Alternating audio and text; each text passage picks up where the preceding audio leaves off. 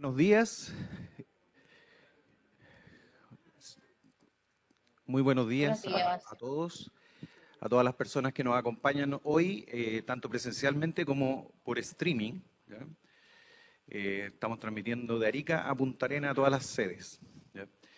Eh, la idea de hoy es revisar el, algunos elementos de vinculación con el medio y del plan de mejora que está comprometido en el informe del Instituto Profesional.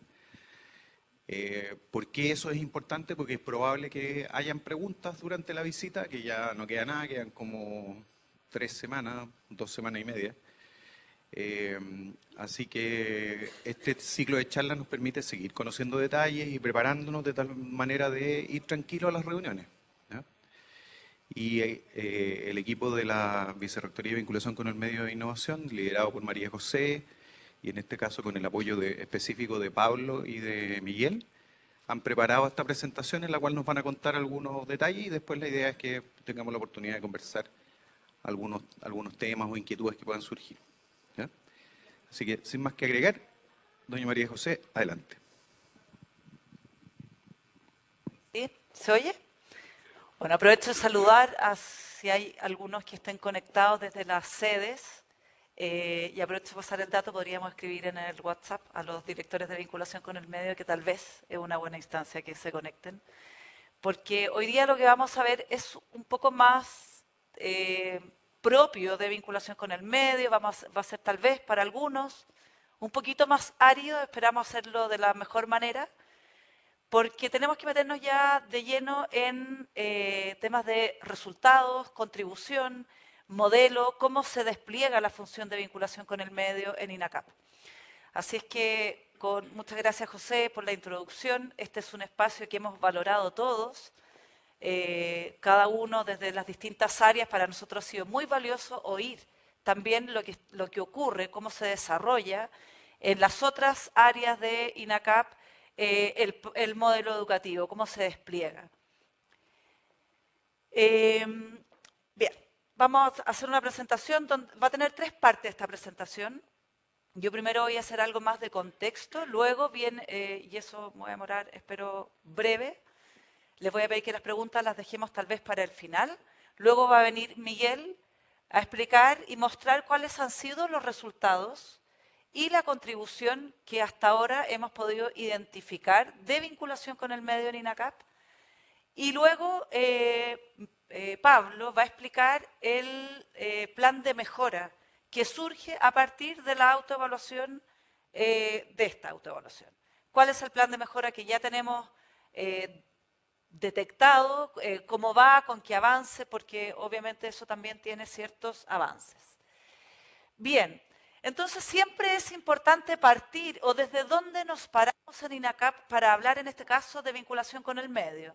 Y nos paramos desde la misión, una misión que ha sido convocante, que es una misión que tiene épica, tiene relato, algo que han destacado también quienes nos han visitado, ¿verdad? En el último tiempo, me refiero a los, a los pares evaluadores que estuvimos hace algún tiempo eh, visitando las distintas sedes. Si hay algo que uno puede destacar es que los docentes, los estudiantes, eh, los colaboradores de INACAP reconocen la misión de, INACAP como una misión que es convocante, que me busca y me, y me convoca a todos a caminar hacia algo.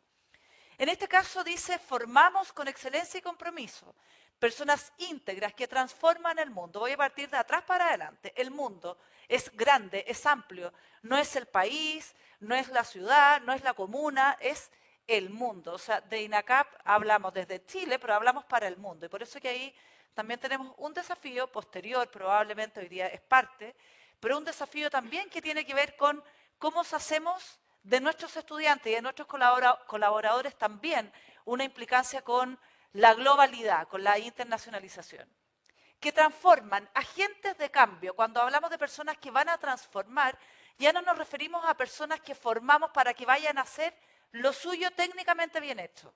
La verdad es que esperamos de los estudiantes de INACAP, y eso es la formación que les damos, que en el lugar donde ellos vayan a trabajar, a insertarse, sean agentes transformadores, que sean capaces de innovar, que sean capaces, hablo demasiado fuerte, ¿cierto? Entonces los tenía obvio, ese, ese es mi problema, pero eso puedo hablar sin micrófono incluso tal vez. ¿Me saco el micrófono? Ah, pero ese es mi problema, ha sido siempre igual, eh, gracias. Siempre el reto es porque hablo fuerte. Eh, bien, eh, pero ahora me distraje porque estaba, me estaba sintiendo muy fuerte, ahora no tengo retorno, pero voy a intentar concentrarme de nuevo. lo que buscamos con esos estudiantes que, que llegan a transformar en donde ellos se inserten laboralmente o donde emprendan, es algo que debemos formar antes. La verdad es que las instituciones educativas podemos formar solo para hacer muy bien técnicamente algo, para desarrollar una determinada habilidad y está perfecto, pero también podemos agregar valor en cómo hacemos que esa persona no solamente se dedique a ser un buen constructor, un buen, eh, en fin, la, la especialidad que sea, sino también sea capaz de integrar otras habilidades para generar competencias y así ser una persona que innove, que transforme, que sea un agente de cambio. Y eso es lo que buscamos en general las instituciones educativas y INACAP en eso quiere ser líder además. Por otra parte, decimos personas íntegras. ¿A quién nos referimos? Todos podemos decir un montón de cosas, pero aquí lo definimos de dos maneras, profesionales consecuentes y éticos a lo largo de la vida. Y INACAP en eso también muestra, INACAP como, como institución, un hilo conductor sólido respecto de esto. Y tenemos modelo de ética y cumplimiento, no sé si estoy diciendo bien la palabra, parece que no es modelo, pero sí, es modelo. Eh, y siempre INACAP ha sido una institución a la cual este aspecto le importa institucionalmente, ser prestigioso porque buscamos ser una institución que cumple con las normativas, más que con las normativas, que cumple como con los máximos estándares de ética y compromiso y eh, integridad. Y lo mismo queremos que sean nuestros estudiantes. Y eso también se desarrolla. Nada de esto solamente se declara, se puede desarrollar e incluso también se puede llegar a medir.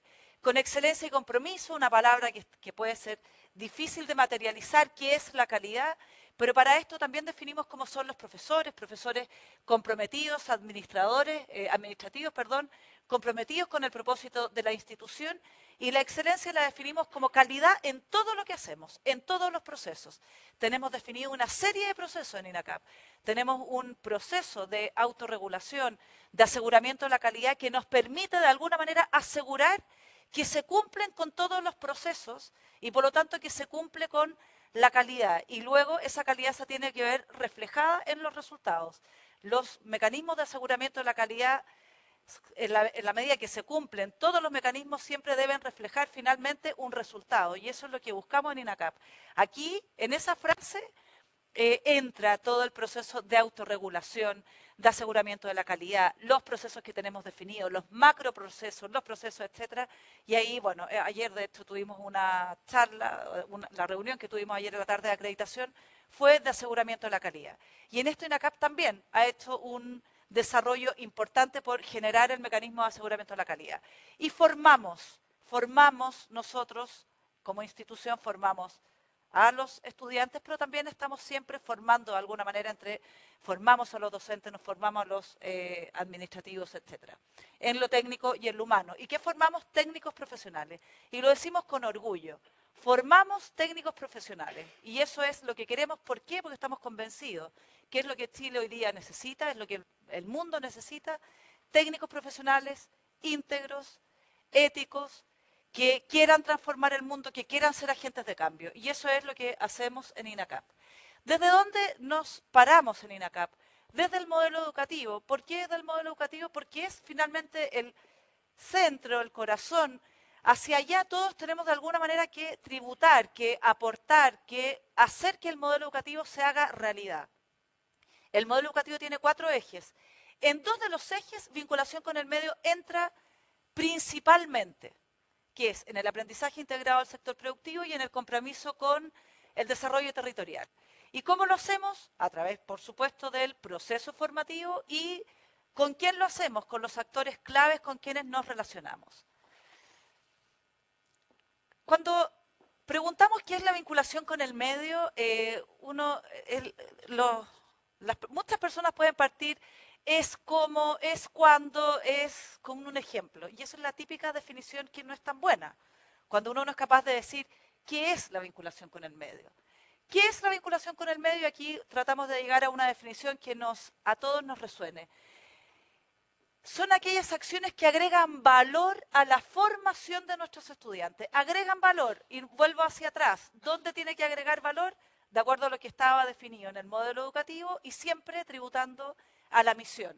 Agregan valor en la formación de nuestros estudiantes, entre paréntesis, van tributando o apoyando el perfil de egreso, porque toda institución educativa se compromete con el perfil de egreso. La educación, el jardín infantil de los chiquititos que algunos de ustedes tienen, tiene un perfil de egreso. El colegio tiene un perfil de egreso, por supuesto que la educación superior también tiene definido un perfil de egreso. Y vinculación con el medio debe aportar a ese perfil de egreso. Por otra parte, que además contribuyen al desarrollo de los territorios las que son implementadas con los actores claves del entorno, ¿verdad? En nuestras 28 sedes, a partir de las fortalezas de las sedes. Bien, ¿es desarrollada por quién la vinculación con el medio? Por el equipo que, de vinculación con el medio, por quienes tenemos el título de vinculación con el medio.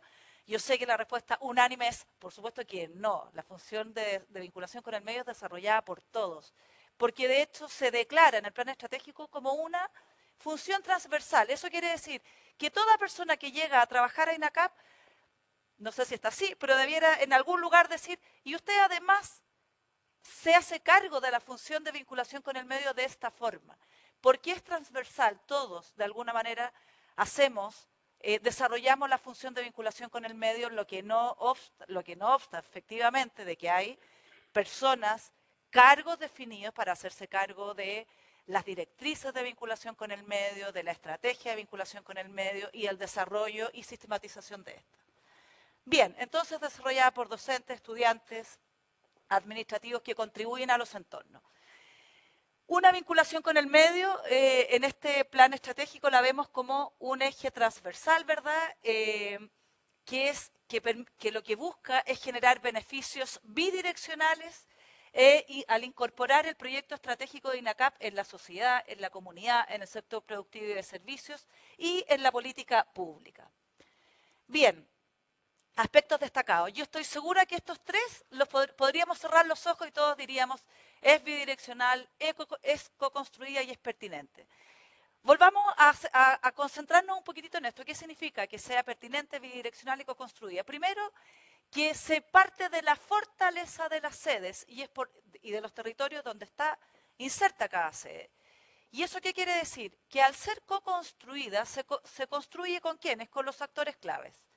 Con el sector productivo, con la sociedad civil, con el sector público, con quienes nos relacionamos en cada una de las sedes, que son parte de ese territorio. ¿Y qué quiere decir? Que en conjunto, a partir, después vamos a ver, de los objetivos estratégicos, etcétera, se construye una eh, planificación que me va a permitir eh, desarrollar la vinculación con el medio, con las fortalezas o desde las fortalezas de las sedes, los docentes, la infraestructura, los mecanismos que existan en, ese, en esa sede, en fin, todas las sedes tienen y declaran distintas fortalezas que muchas veces son muy distintivas y particulares de las sedes, lo que no significa que también sean o que se desarrollen de forma equivalente a lo largo de todo el territorio.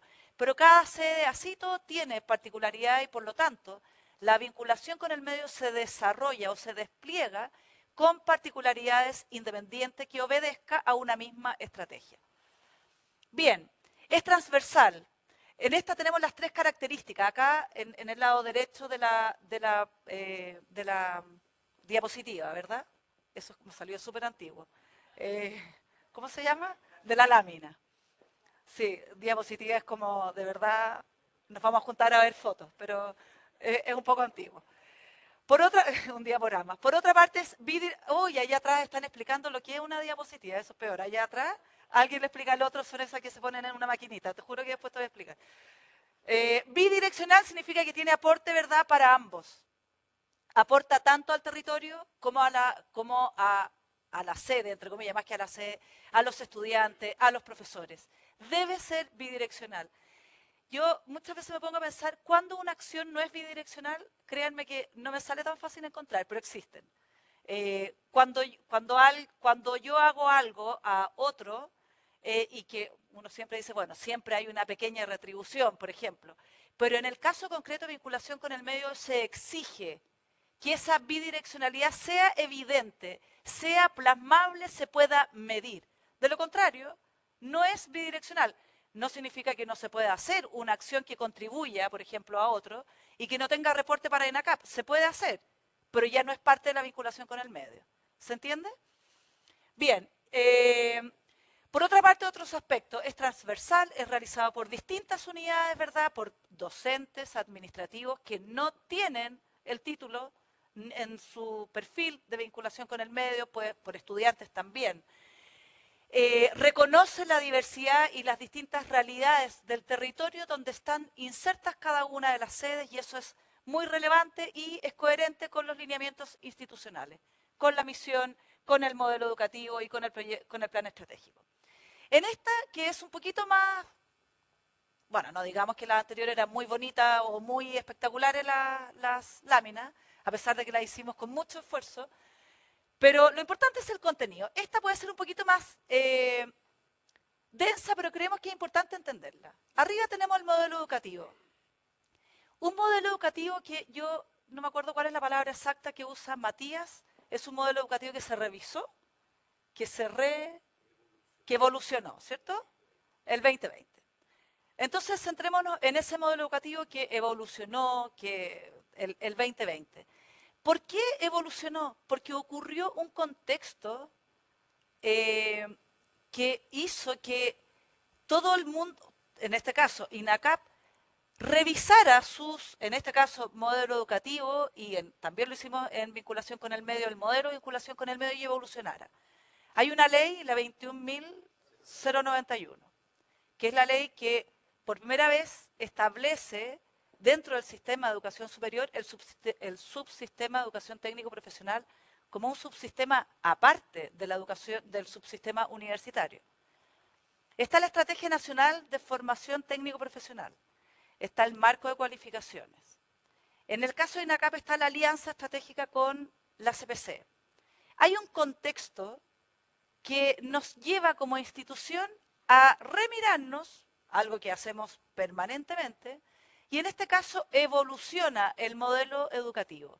Y el modelo educativo evoluciona lo que hoy conocemos, ese modelo que mostramos anteriormente con cuatro ejes. Si el modelo educativo evoluciona, es imposible que el modelo de vinculación con el medio no siga el modelo educativo, por lo tanto también evoluciona el modelo educativo. Y por lo tanto parte del contexto de vinculación con el medio es también esa evolución del modelo educativo.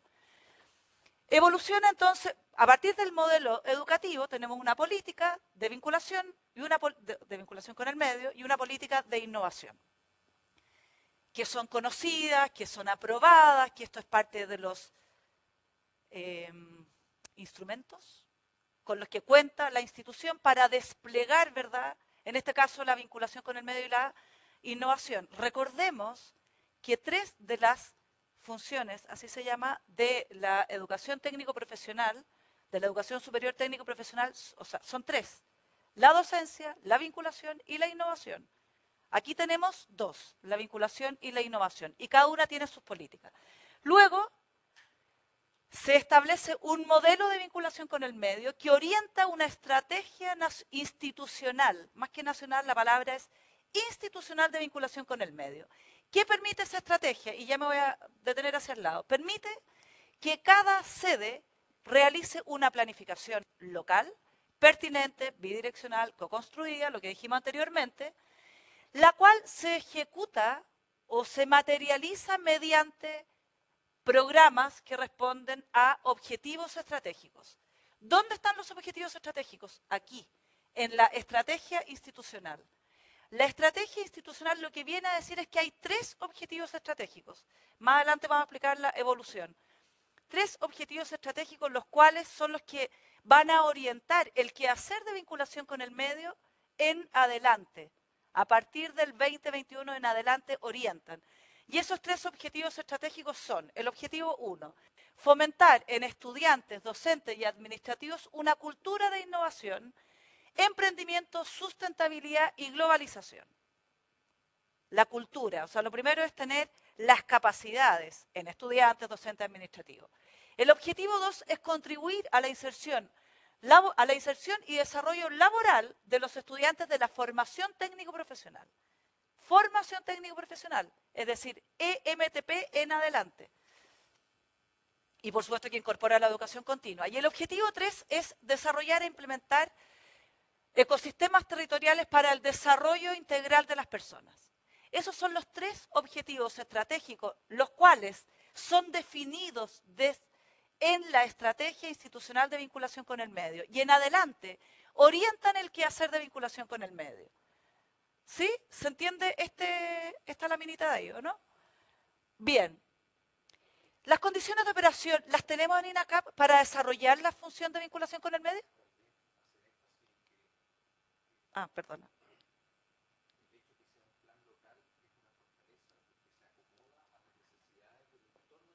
Totalmente. Y lo, vamos después a, a, decir con mayor fuerza. Pero efectivamente, esto de aquí,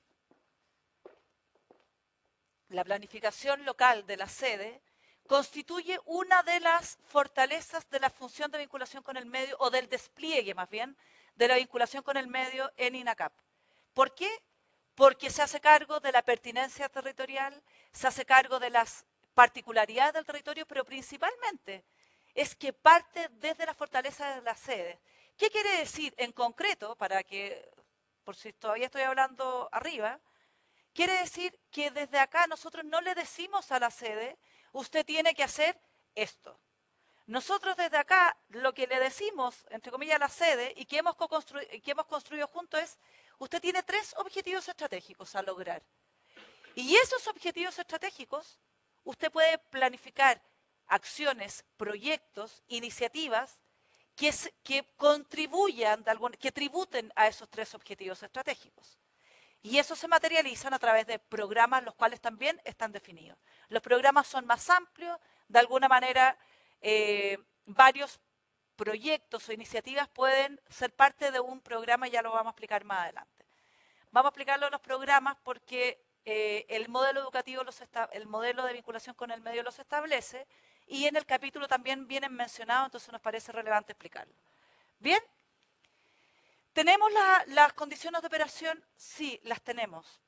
En primer lugar, tenemos un presupuesto anual que desde, desde el 2017 al 2022 se incrementó casi en un 30% en el gasto por estudiante en INACAP.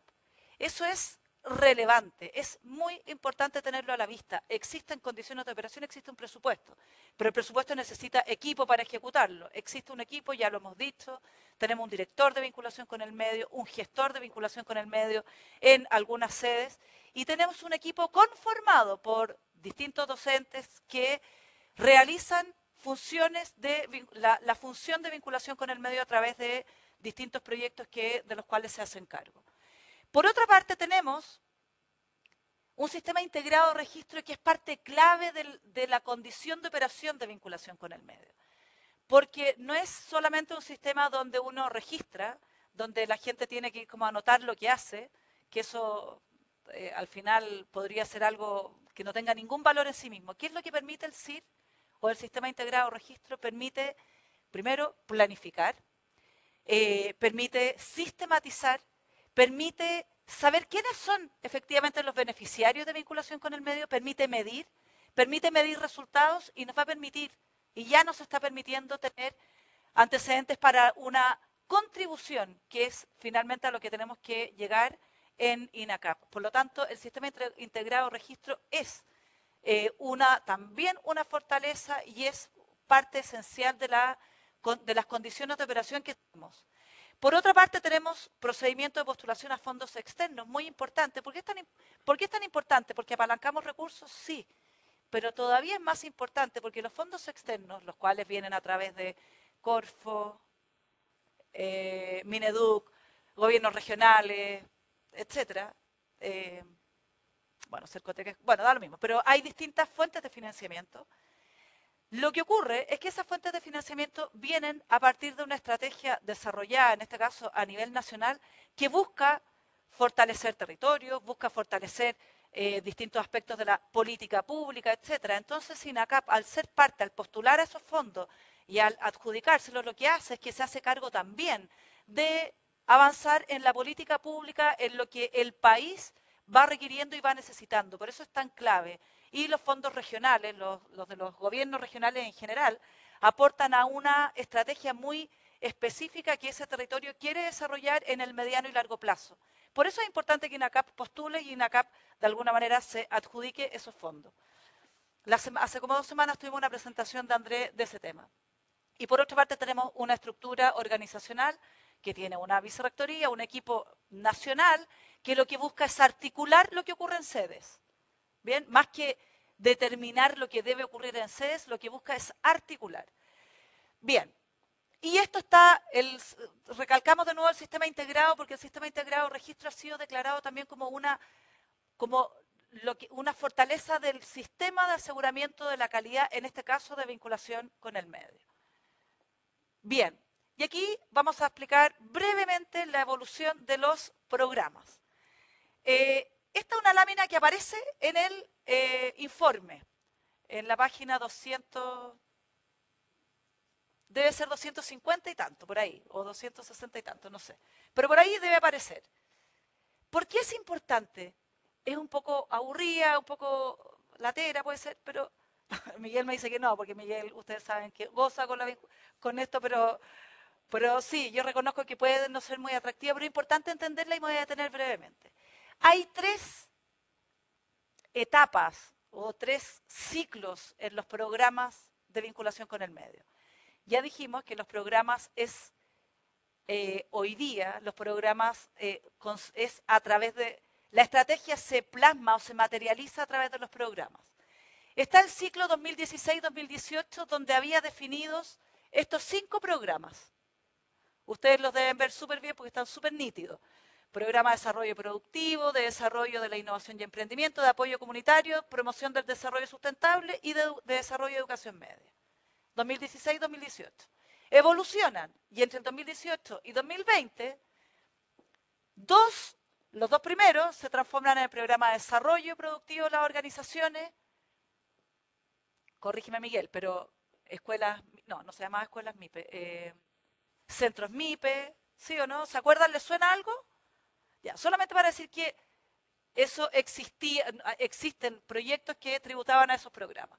Está el programa de desarrollo de comunidades, desarrollo sustentable, educación media y programa de educación continua. Pero a partir del 2021 hacemos un cambio, un cambio que es bastante transformacional, que es cuando se define esta estrategia institucional de vinculación con el medio. Y decimos, en adelante, vamos a definir, y se definieron tres objetivos institucionales, perdón, eh, de vinculación con el medio, estratégicos de vinculación con el medio, los cuales vimos anteriormente. ¿Se acuerdan o no? Las capacidades, por una parte, la cultura, el territorio y, la, la inserción laboral, ¿cierto? Esos son los tres objetivos. Entonces, a partir del 2021, ¿qué decimos? Decimos, la estrategia la vamos a plasmar la vamos a desplegar a través de tres objetivos estratégicos. Esto no es solamente por simplificar, esto es precisamente para dar esa eh, posibilidad de que cada sede realice su planificación local y nosotros no determinemos desde acá lo que tiene que hacer. Ahora le decimos usted tribute simplemente a los objetivos. Luego, ¿dejaron de existir los programas? No, lo que hicieron es que evolucionaron los programas hay cinco programas que son estos, que en el capítulo también vienen. Formación del, perdón, fortalecimiento del desarrollo sustentable en los territorios, que incorpora los otros tres. Programa de vinculación con la enseñanza media, que es la, la evolución del programa de desarrollo de enseñanza media, de educación media. Programa de educación continua, fortalecimiento del aprendizaje y desarrollo laboral. Luego, ¿qué son estos programas? Estos programas nos permiten ordenar nos permiten evidenciar cómo ordenar en el fondo la planificación local de cada sede, pero tributando a estos objetivos estratégicos. Es decir, a partir del 2021 el protagonismo se queda en los tres objetivos estratégicos y es por eso que en lo que viene Miguel va a mostrar los resultados a partir de los objetivos estratégicos. ¿Sí? Bien. ¿Sí? Por supuesto. Gracias, María José. Oye, este es un ejemplo claro de la capacidad de autorregulación de la institución. Porque aquí lo que hemos ido haciendo es revisándonos a, nosotros mismos y diciendo ya, mira, esto que fue funcional y que nos permitió alcanzar ciertos objetivos hasta el 2018, ya no es suficiente y queremos mejorarlo. Entonces evolucionamos, a esto. Después, en, este periodo se dicta la, ley 21.091, aparece la Estrategia Nacional de Formación TP, decidimos focalizarnos en, en educación TP, decidimos descontinuar el, proyecto de la universidad, etc. Entonces ocurren una serie de eventos adicionales que nos llevan a decir, bueno, ¿estos son los programas que queremos o no? Y eso nos lleva a decir, mira, vamos a hacerlos evolucionar y vamos a quedarnos con estos programas. Y no contentos con eso, el 2021 elaboramos la, estrategia institucional de vinculación con el medio e innovación. Y nos damos cuenta que en realidad este enfoque de objetivos estratégicos nos permite abordar de mejor manera lo que queremos lograr con vinculación con el medio. Y de esa manera proveerle más libertad a las sedes, de tal manera que ellos programen en función de las necesidades del sector productivo y de servicios que están en torno a las sedes.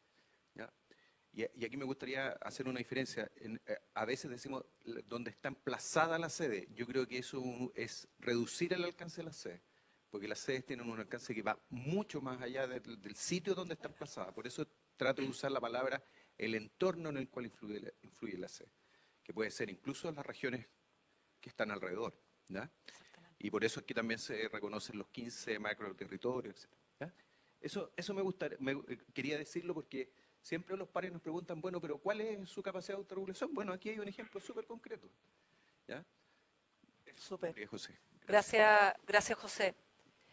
Es importante efectivamente porque antes habíamos hablado del contexto, cómo el contexto llevó a, eh, a repensar, ¿verdad? Y a la evolución del modelo educativo. Y eso es lo que ocurre en esta línea punteada, la que acaba de explicar José, ¿verdad?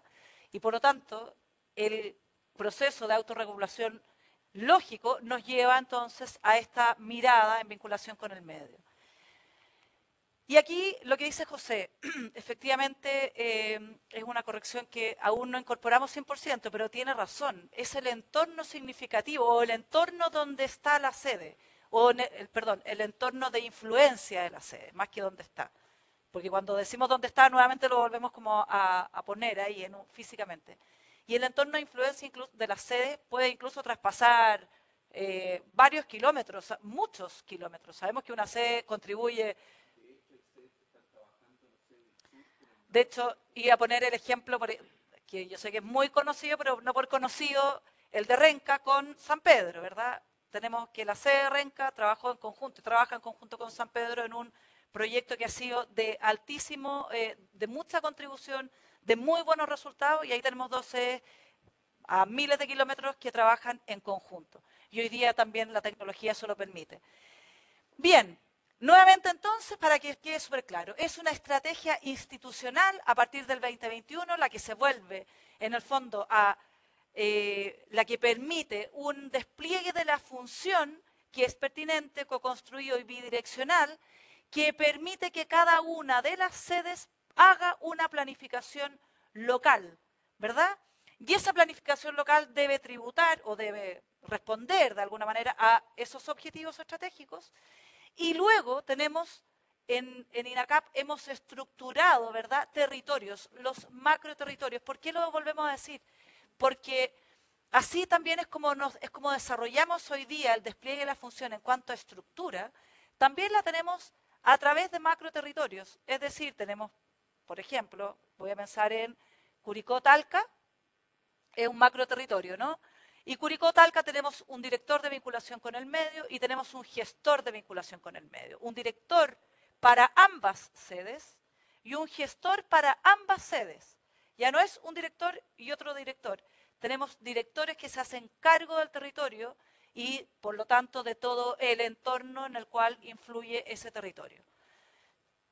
Bien. Eh,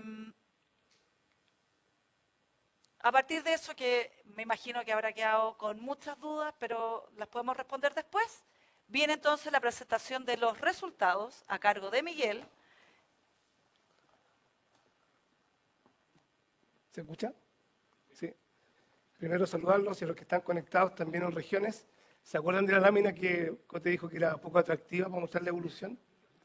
Por la explicación que hizo José y como muy querido vicerrector dice, la historia, la historia hay que saber contarla. Entonces, esos tres bloques, que muy bien lo explicó José en su intervención, nos permiten decir cómo el informe está escrito. El IPEI ACAP ha avanzado desde 2016 a la fecha con muchos cambios, entre ellos una ley, una alianza que, que, que robustece la relación que tenemos con la, con la CPC, entre ellos el desarrollo de un cambio en la manera de mirar la vinculación con el medio, desde un programa estricto donde la sede era ejecutora a una estrategia donde se reconocen las realidades, la transversalidad, el entorno. Y de esa perspectiva también tenemos que saber historia respecto a los resultados. Y esta lámina la coloco ahí, ya la archi hemos visto qué nos piden, qué nos pide la Comisión Nacional de Acreditación cuando hablamos de resultados y qué nos pide cuando hablamos de contribución. Recordad que aquí también hay un cambio, los criterios cambiaron. A partir del 2023 son otros criterios que colocan todo lo que estamos haciendo ahora como el DESTE. Y donde en un futuro, ¿qué nos va a dar la excelencia y la innovación? Y vinculación con el medio va a ser una estructura más bien eh, establecida dentro de lo que se les exige a los subsistemas, también haciendo esta diferenciación. Entonces, resultados que se identifique la contribución que hacemos, que se identifique sea atribuible a las acciones que desarrollamos. Y desde contribución es esta valoración percibida o recibida por los actores que participan en conjunto con las acciones de vinculación con el medio. Y aquí queremos mostrar el cómo identificar esta historia bien contada. Desde la perspectiva de la que está ahí, estos son los resultados que aparecen en el informe de autoevaluación, son los resultados que aparecen en, el capítulo de resultados y corresponden a este establecimiento de los programas de vinculación con el medio, que bien mencionaba eh, José que estaba en esta primera línea punteada. Y ahí tenemos los números que ya los conocemos, están en infografía, están en el informe, pero lo que busca es demostrar las participaciones que existen en vinculación con el medio, tanto estudiantes como docentes, los establecimientos de educación media, ¿por qué están acá? Porque habla de transversalidad. El CEDEM no depende hoy día de la Dirección de Vinculación con el Medio en sede, depende de otra unidad. Educación continua, que también aparece en términos de las empresas que atienden, es porque la institución declara que la educación continua es un punto de vínculo con el sector productivo. Muchos de los programas de, educación continua se hacen reconociendo las necesidades del sector productivo y cuando hablamos de los beneficiarios, aquí no podemos no destacar uno de los proyectos más emblemáticos que tiene la institución, que son los CNS, que hoy día corresponden a una red. Por tanto, este desarrollo del despliegue de la función entre el periodo 2016 y 2021, entendiendo este traslape con la estrategia, se desarrolla en el marco de estos cinco programas que aparecen en el capítulo. Pero por otro lado, la mirada futura que plantea José habla de una forma de visibilizar la vinculación con el medio más desde la lógica territorial. Y ahí emerge y aparece la estrategia de vinculación con el medio institucional, vinculación con el medio e innovación, y el plan de acción local, que busca el despliegue de la función de acuerdo a las necesidades y oportunidades del territorio, las capacidades instaladas en sede y el reconocimiento de esta territorialidad expresada en ese plan. Estos números son datos incorporados en el, Power BI que levantó el equipo de la Vicerrectoría de Desarrollo Institucional para tener una mirada 2022 y que el paracreditador tenga una mirada también de todo el, avance, pensando que hoy día estamos eh, enfrentando un proceso de acreditación casi un, año después de, de, ese proceso. Y efectivamente, replicando los números, hay mucho más detalle por sede, por iniciativa, por acción en ese Power BI. Tenemos eh, la cantidad de participaciones de estudiantes y docentes, eh, los establecimientos de educación media, las empresas de educación continua, los beneficiarios que pueden ser personas, empresas, organizaciones y los centros de negocios. Aquí un dato importante. 7.800 estudiantes se declaran entre el periodo 2016-2021. 7.300 solo en el 2022. Eso también es un punto importante respecto de cómo la pandemia afectó a las instituciones de educación superior. Y aquí no tenemos que perdernos. No es que haya afectado INACAP. Todo el subsistema se detuvo. E INACAP es un esfuerzo adicional para mantener el proceso formativo.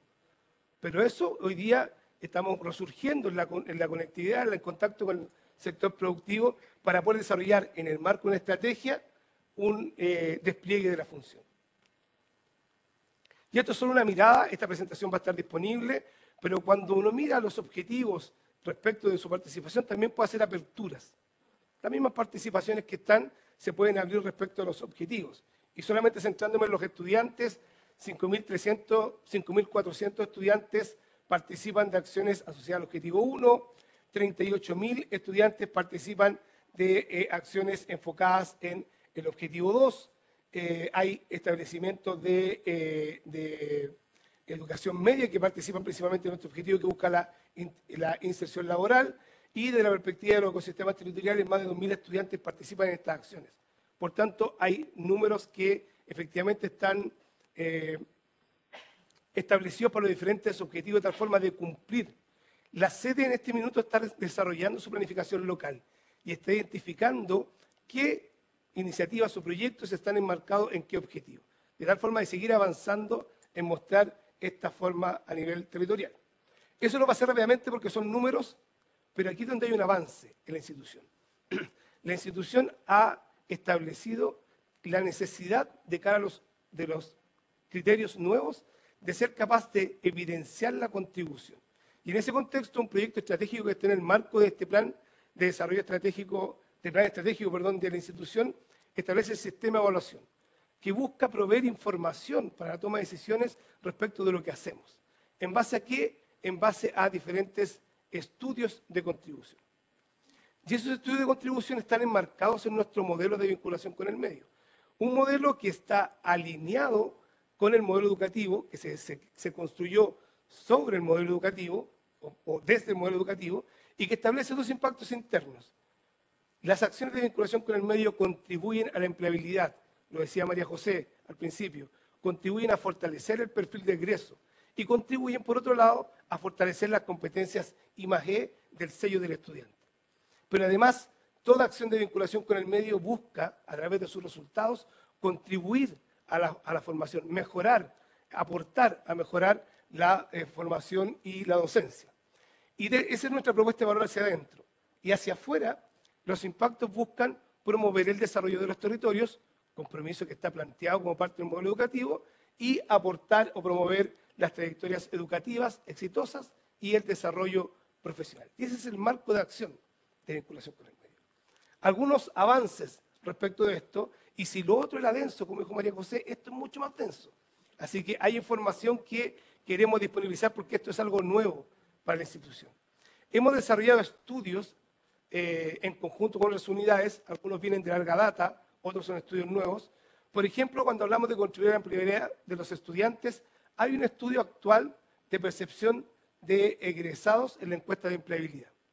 ¿Qué dato nos entrega? Le incorporamos en conjunto con las diferentes unidades algunas palabras de vinculación con el medio para reconocer si los estudiantes al momento de su egreso de titulación o posterior al primer año reconocen el aporte de las actividades de vinculación con el medio y de innovación.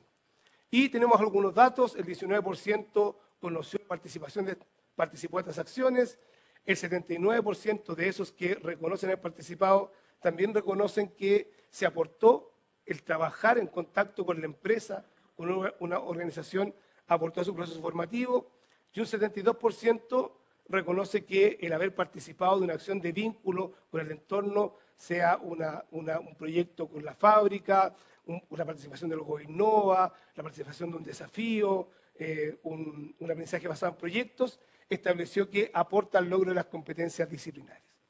Entonces ahí hay una mirada que al construir este longitudinal queremos ver cuánto aporta la vinculación con el medio de innovación para poder sacar información que nos permita crear de mejor manera estas acciones.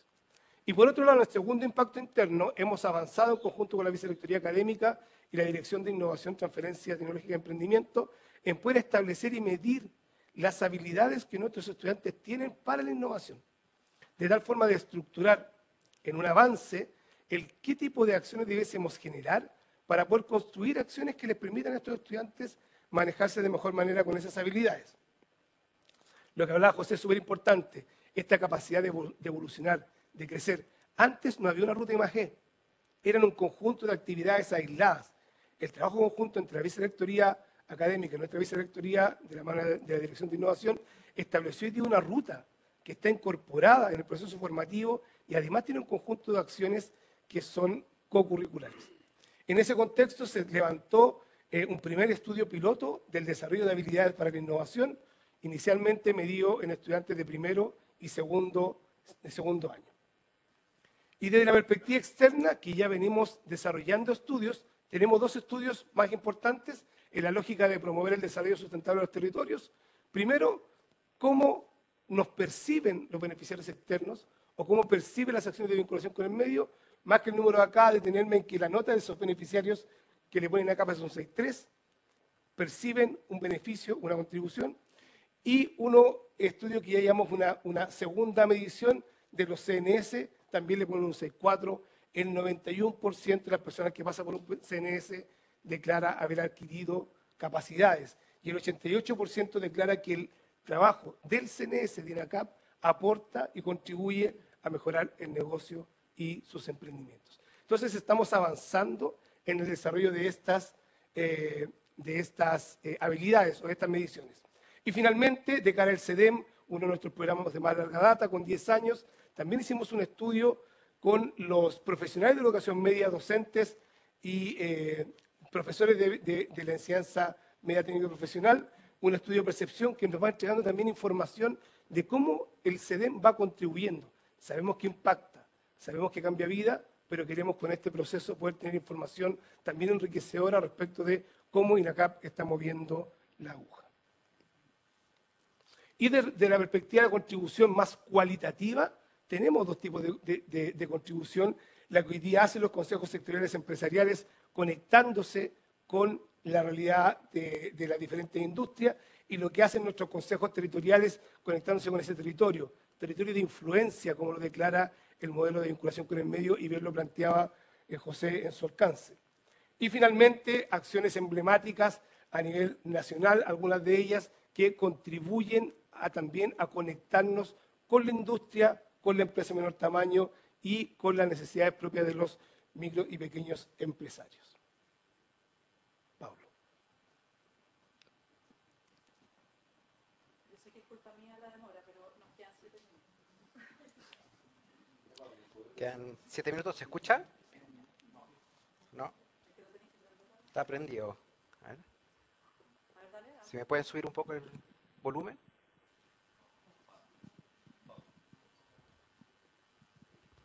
Hola, hola. Ahí sí, ya, ok. Ya, tenemos poco tiempo, así que voy a tratar de ser breve, ¿ya? Eh, y esto es un tema muy relevante, ¿ya? Y que la idea es que todos nos vayamos con una idea clara en, nuestra cabeza, ¿cierto?, de cuál es la debilidad que nosotros consignamos en nuestro informe eh, de autoevaluación y por otro lado, cuáles son los elementos centrales que están y que se contienen en nuestro plan de mejora. ¿Bien? Em, esta es la debilidad que nosotros consignamos, la voy a leer.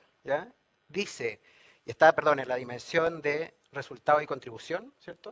Que es justamente lo que acaba también de hablar eh, Miguel, el criterio de resultado. Y dice así, el despliegue de la función de vinculación con el medio y la definición de planes de acción de las sedes ha conducido al desarrollo de numerosas iniciativas que contribuyen a retroalimentar las funciones institucionales. Esas funciones institucionales, como dijo María José, ¿cierto?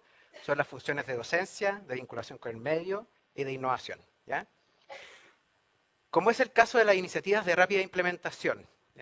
Aquí voy a ser muy breve. Las iniciativas de rápida implementación fueron iniciativas que se desarrollaron en el marco de un programa que se llama IPSFT 2030, impulsado por Corfo y Mineduc, para desarrollar las funciones y las capacidades internas de las instituciones en el área de innovación. ¿ya?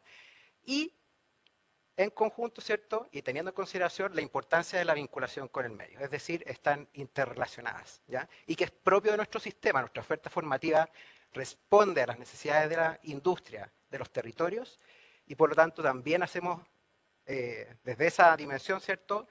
Decimos que la función de innovación también responde a los territorios, y la vinculación con el medio es aquella función que nos permite enlazar, ¿cierto?, las otras funciones.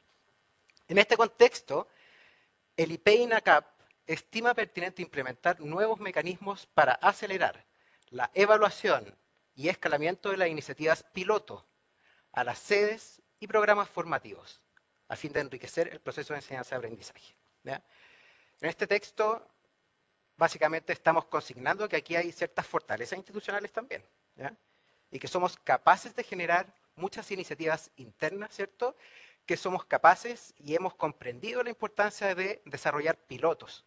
Esta institución lo ha venido haciendo desde muchos años atrás, ¿cierto? Eh, y aquí eh, simplemente consignamos que trabajamos, ¿cierto?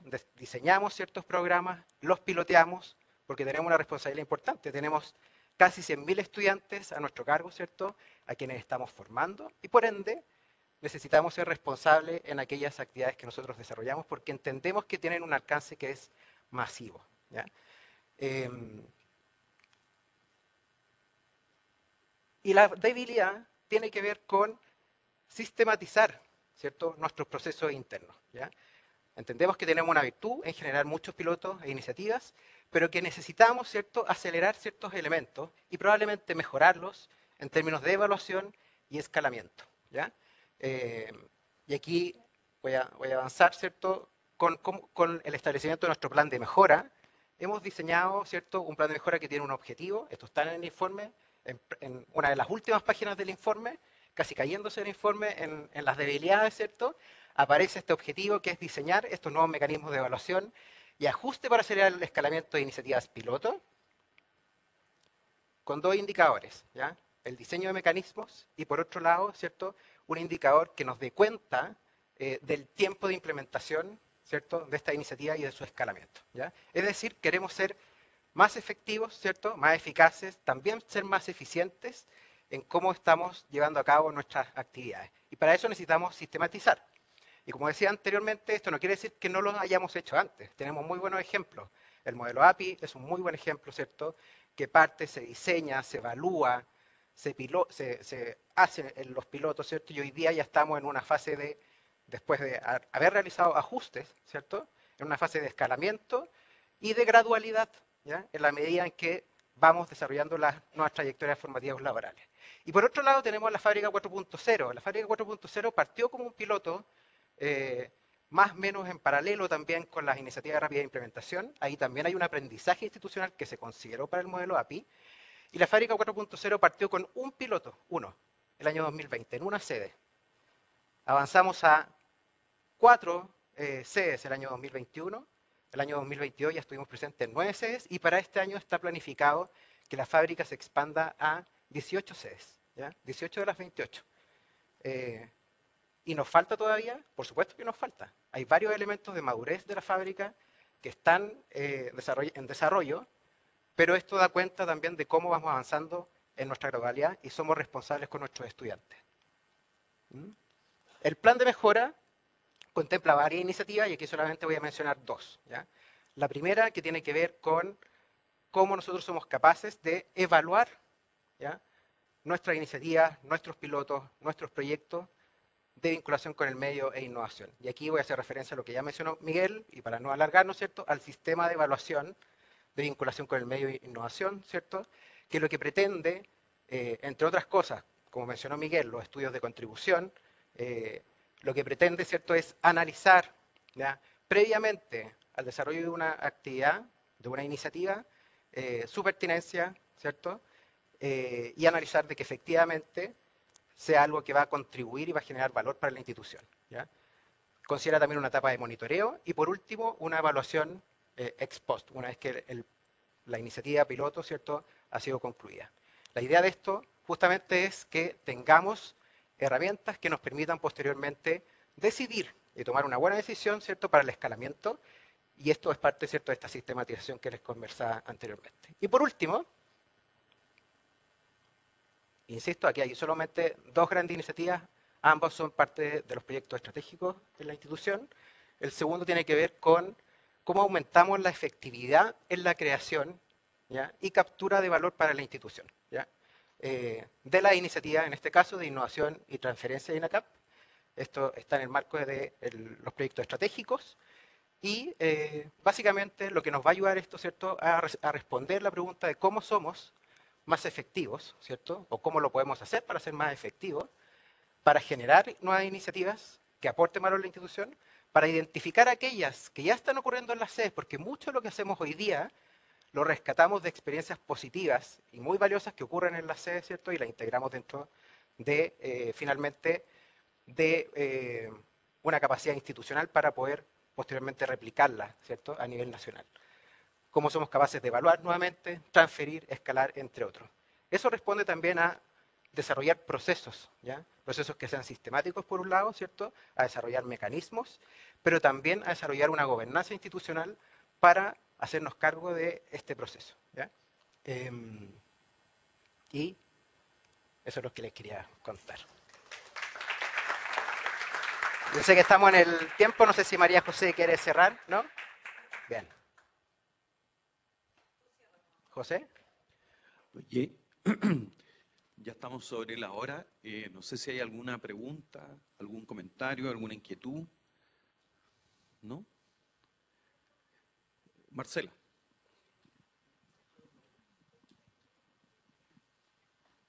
Que está como por streaming. Ah, ok. Eh, sí tengo una consulta porque así como se mostraba un, dato de estudiantes eh, que había aumentado significativamente el último año respecto del periodo 2016-2021, eh, había un- una reducción en, la, en el número de docentes que participaban respecto de ese mismo plazo de varios años al último año. Entonces, no sé si tiene alguna explicación particular.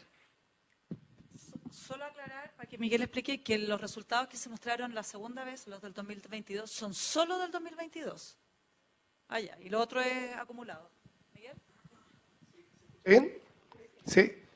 Eh, es un fenómeno, que se da. Son del 2016 al 2021 la cantidad de docentes es más y la cantidad de estudiantes es poca, porque efectivamente eh, durante la pandemia, durante los años anteriores, era un docente por, o sea, varios docentes por un estudiante.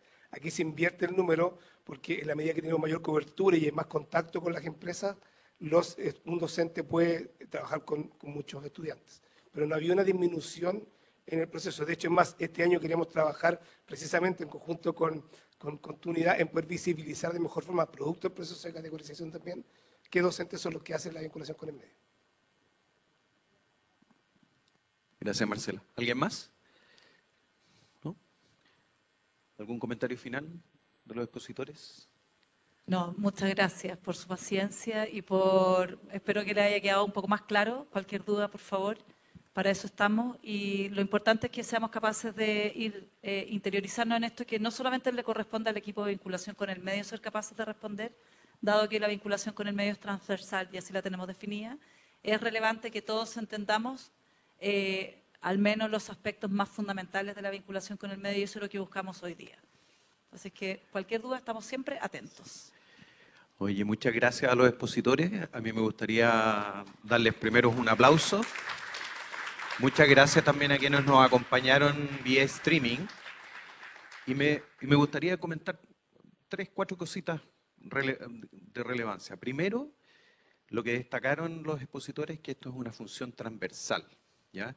Y en ese sentido, cuando en algunas, en algunas sedes tienen un director de vinculación, con, de vin- vinculación con el medio que es compartido y tienen un gestor del vínculo, no es que son ellos los que realizan solamente la, la función, es toda la gente de la sede. ¿ya? Entonces, claro, esto de tener directores eh, de vinculación con el medio por territorio sigue la lógica de poder articular las, las acciones de manera territorial en estos macro territorios que nosotros definimos. ¿ya?